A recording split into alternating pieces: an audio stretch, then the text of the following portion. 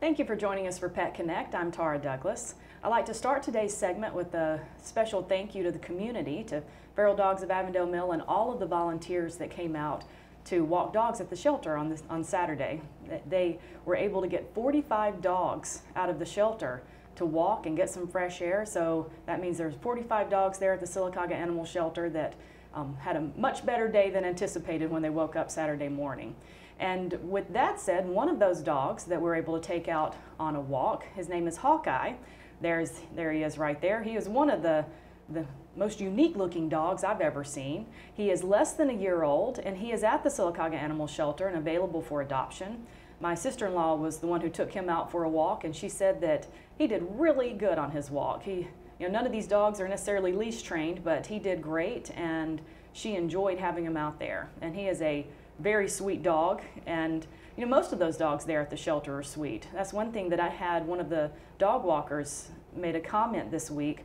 She had never been out to the shelter and she said that she had no idea that, that these dogs would be as sweet as they are that she just had in her mind that shelter dogs would be bad for some reason. But we had a great time with all 45 of those dogs and didn't have a single problem. These are all very sweet dogs. They're not at the shelter because of something that they did they're at the shelter because of something that people did and another comment I had, you know, we have this very unique dog that we're showing right now, but there are a lot of beautiful dogs there at the shelter. I had a comment that someone saw the pictures on Facebook and they were very surprised that we had so many um, unique, pretty dogs at our shelter. You know, again, in his mind, he thought we would have a bunch of, um, of stray looking dogs that didn't look healthy and didn't look good. And so, you know, we hope that everyone in the community will go to the, the Sylacauga Animal Shelter Facebook page and go to the photos section because Terry Brooks with Feral Dogs of Avondale Mill, she's out every Saturday taking pictures of these dogs and posting the pictures of the available dogs. And go to the Facebook page, look at those dogs, and you'll see that we have so many beautiful dogs at the shelter. Everything from puppies to adult dogs, all different breeds and all different sizes. So if you're looking for a dog, please look at the shelter first. And we're getting together again this Saturday to walk the dogs. So we'll be out there again at 11 a.m. because we, even though we did 45 dogs, there's still a lot of dogs that weren't able to get out of their kennels. So we're going to, to start again on Saturday and hopefully keep this up. So um, please come out as community and help us at the Sylacauga Animal Shelter. We also have our $25 spay and neuter voucher sale that's coming up on December 3rd. It's going to be 9 a.m. to noon and held at PetSense.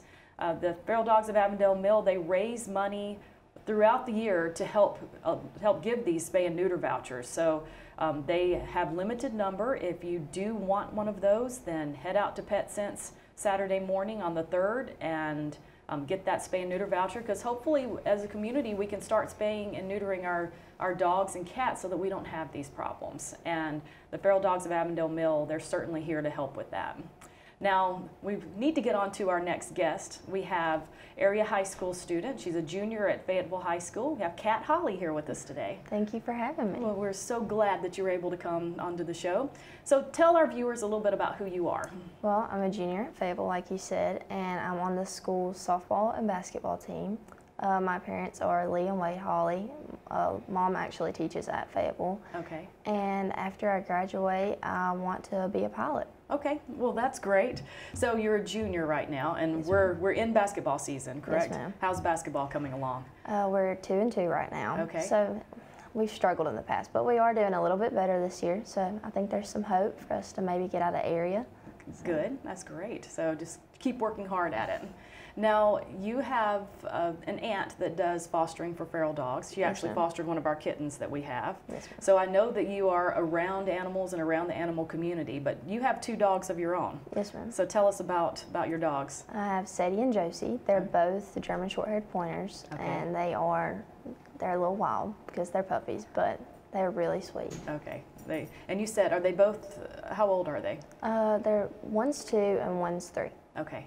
And so they, they do have a lot of puppy in them yeah. at that age, which we were discovering walking dogs at the shelter that a lot of these, these dogs, they're so happy to be out. They're going to pull you, drag you around the world, but have the best time doing it. Right. and now, you tell us a little bit about both dogs. So. so Sadie is, she's like white with the black spots all over, mm -hmm. and she's more of a lap dog. She thinks she's a baby, but she's like 65 pounds. She's big.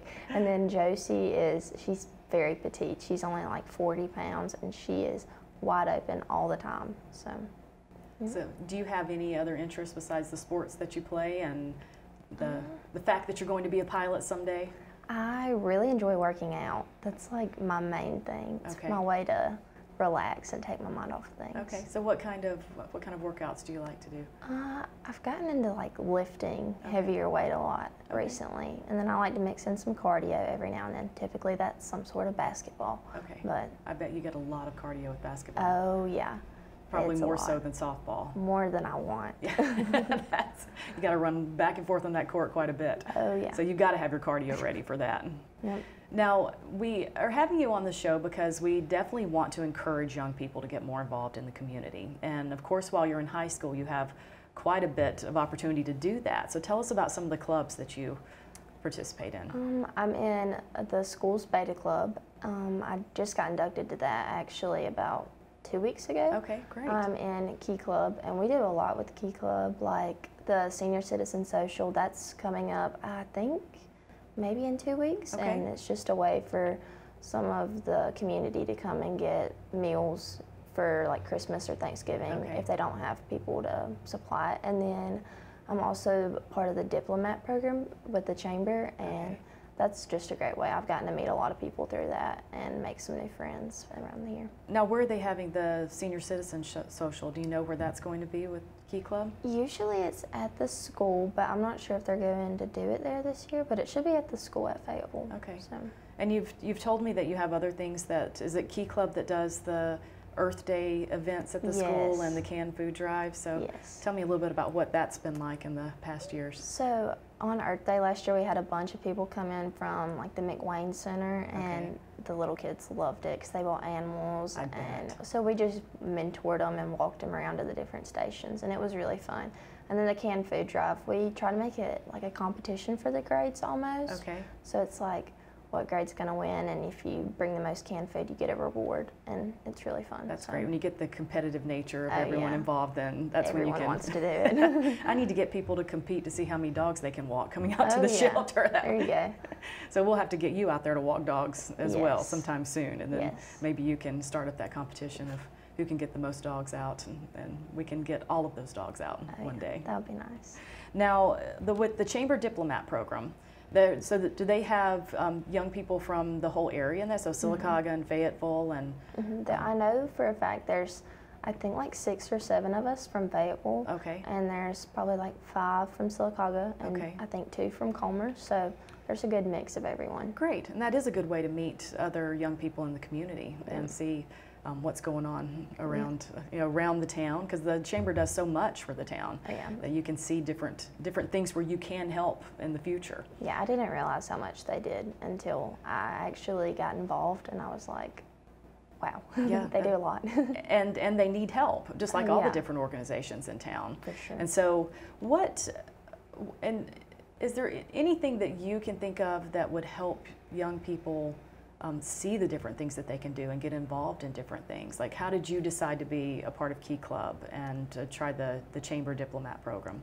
Honestly, just talking to people who are older than me that Mhm. are um, graduated, like it provides so many opportunities for getting to know people and making connections, getting scholarships, and it's just a great way to get to know some people. And that really helped me because I mean, going to college is expensive. You need to know some people, you need the scholarships, and talking to people always helps. So, Absolutely. And coming on TV oh yeah, can help you. now, um, with you know, when you get done with high school, you know, what I would love to see in the community is, you know, of course we're Pet Connect, so I want to see people working with animals Oh, yeah. and helping out with the dogs and cats and the the homeless dogs and cats population in the area. But at the same time, there's so many different things that you can do. So you're Mhm. finding things that you love through the chamber and through Yeah. Key Club and the different avenues that you have at school to do that. Mm-hmm. And that's great. And I hope that young people like you, when you graduate, that you'll still do that for the community and maybe stick around this area. You I so. you can be a pilot somewhere around here. That And- would be nice, staying involved. Absolutely. That, that's how a community stays together and how the community gets support. So we appreciate everything that you're doing through the clubs at school and, um, and, and hope that you continue to do that. And I hope that we see you out there walking dogs. I, Yeah. I think I, Soon. I think we will. Oh yeah, for sure.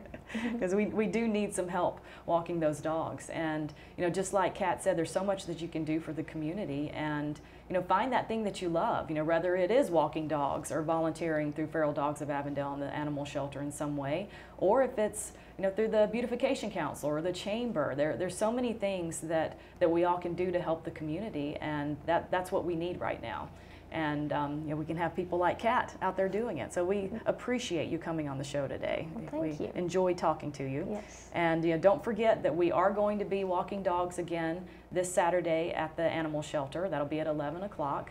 And um, if you do want to do that, please message me on Facebook or you can call my office at Broadway Spinal Care. That way we'll know the numbers that are going to be there and we can be prepared for the people that are there. We had about 10 people walking last Saturday and that was a, that was a great number of people. It's, um, it's a lot of juggling dogs around the shelter, but it's a lot of fun. We, we all enjoyed it quite a bit.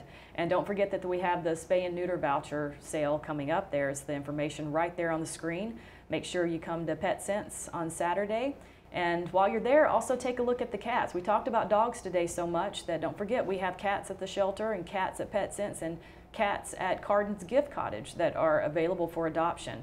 So um, think about adopting a pet this time of year.